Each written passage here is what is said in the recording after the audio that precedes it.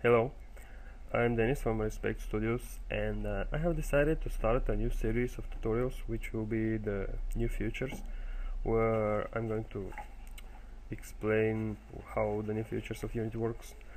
So we're starting with 5.3 which came out a few days ago and uh, I'm going to go through all of the major new features which are pretty interesting for me uh, we're going to start with scene management which is awesome. Uh, Unity put a lot of work in that and it's working very logical and very good. So uh, let's just first think about how uh, the, the games are made in this way. If we take for example I'm going to mention some famous games here so you, you all know what I'm talking about. I guess most of you have played them if we talk about for example limbo which is a platformer game uh, it's uh, like a one huge level. It doesn't have loading it doesn't have uh, uh different levels. It's it's it's just start from start to end. So if you think about that and uh, you try to make a game like this and you don't know how exactly the things work you might think that you have to create the whole level in one scene which will be absolutely not working because if you make uh, that that huge level in one scene even if you add some triggers to load new chunks of data and unload the previous ones that might work actually but will involve a lot of work and uh, you will have a huge scene which will be pretty time consuming it's hard for the people who if, if there are a few persons who work on the game it will be hard for them to work like uh, together. So scene management is very good for that. The other type of games where you see uh, loadings but not actually loading but for, let's take for example The Last of Us which is a third person game. Uh, you don't see loading there but there are cutscenes. So a lot of the studios that do games like this are actually using cutscenes to do the loading. So when you watch the cutscene uh, the game is actually loading the new the new part of the game.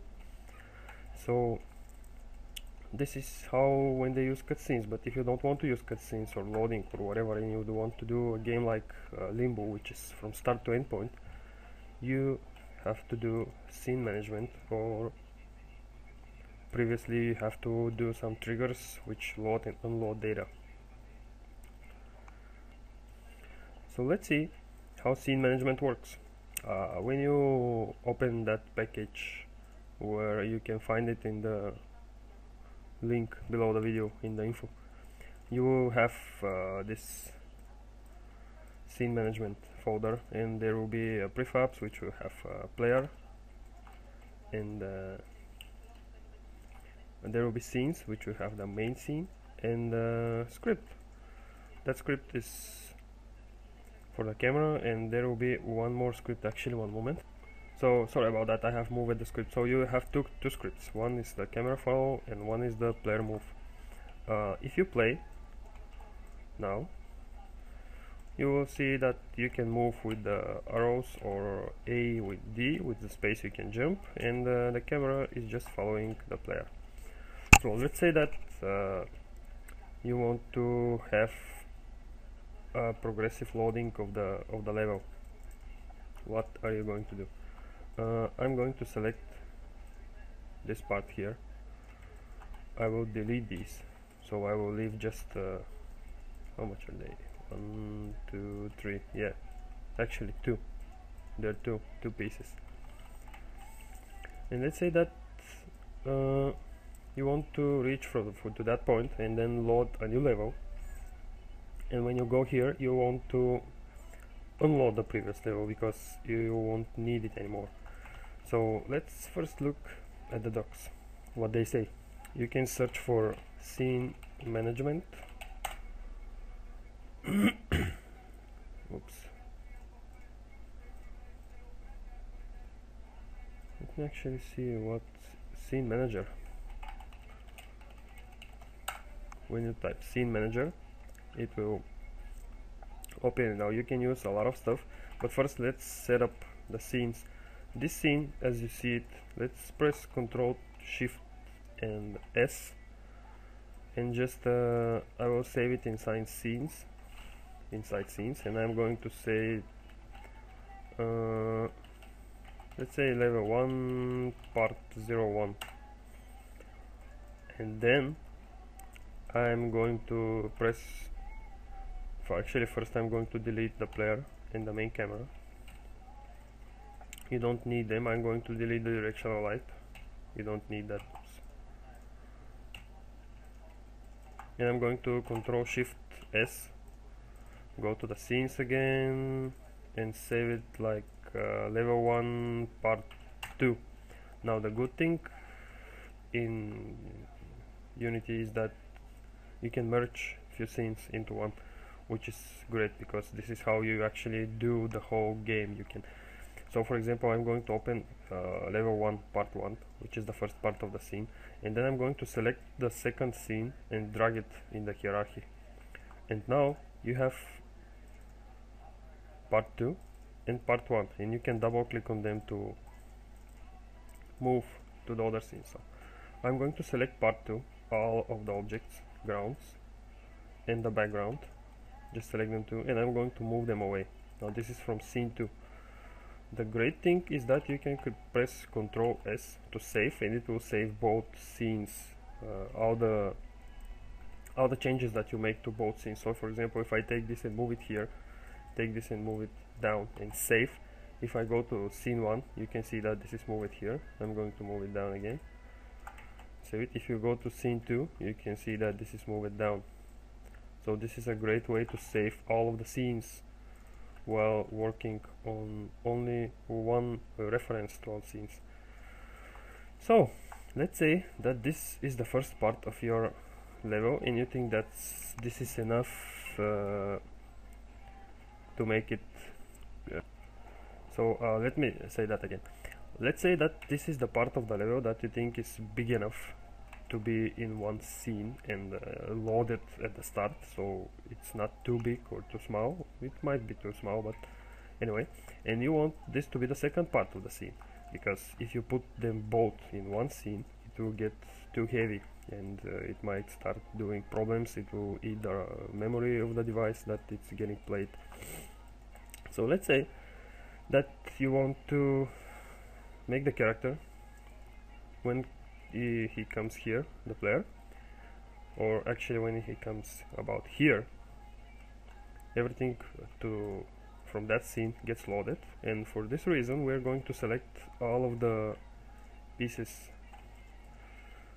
And we're going to make them smaller. Uh, now general rule is that you have to make something some place where the player can go and he can't go back and if you notice if you play limbo for example you can see that if you pay attention you will see that there are places where you slide down or you fall down from some place and you can't go up again. And this is the places where the new part of the level is getting loaded and the old, the old part of the level is getting unloaded.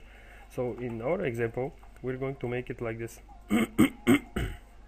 So when the player goes here and uh, you can see that we can jump we can jump that that high. And uh, when we fall down from here we can't go up. So this is the place where you can for example like here unload all of the pieces. But not only that we're going to go to scene 2 select all these pieces. Now if you want to edit some of the scenes you have to double click on it and uh, in our case we want to add some pieces to scene 2 because if we add them to scene 1 they will get unloaded. So let's select scene 2 select all of these pieces and move them away. Now we're going to uh, select the level elements and uh, create a cube. Let's just uh, like scale it. It will be actually that big okay that's good enough. Then scale it like this and uh, like this. So for example we're going to make two pieces that uh, he can jump on. Like here and then here. And uh, for example you can make these pieces to collapse when he jumps on them or to disappear or something like that. So uh, he don't have to see that this level is getting unloaded or it might be a door or something like that so we'll leave these pieces here and they are in scene 2 let's save the scenes. And now let's see where we have to add the triggers. We're going to add one simple trigger.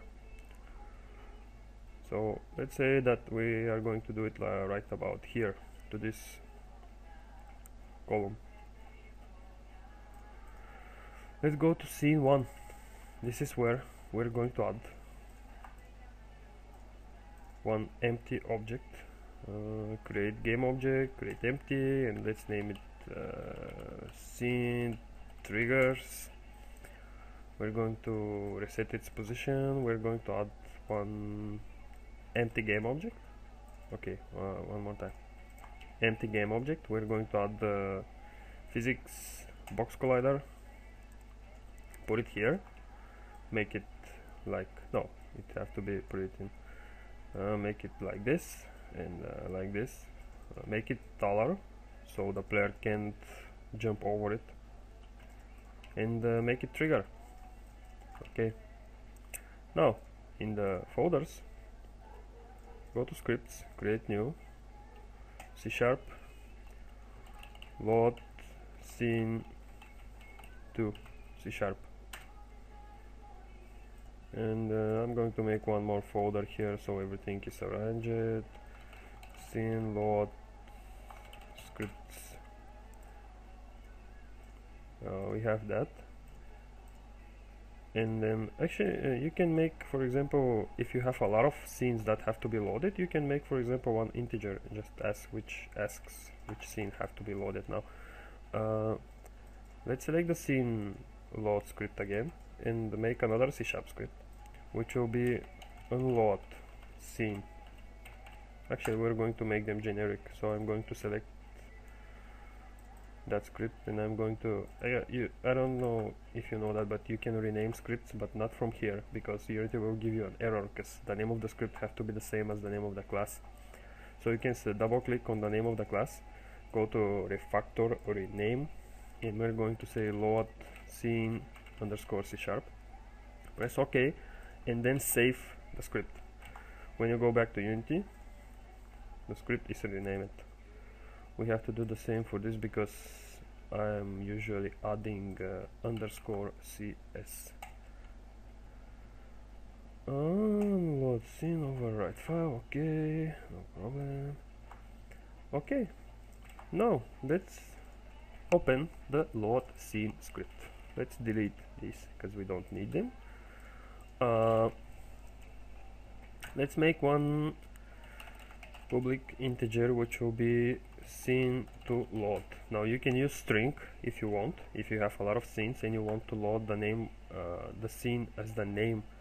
So if you want to load the scene as like level 1 part 2 you have to use string but I'm going to use integers because I, I will know in this case which is the scene uh, let's make sure that we're in scene in level 1 here.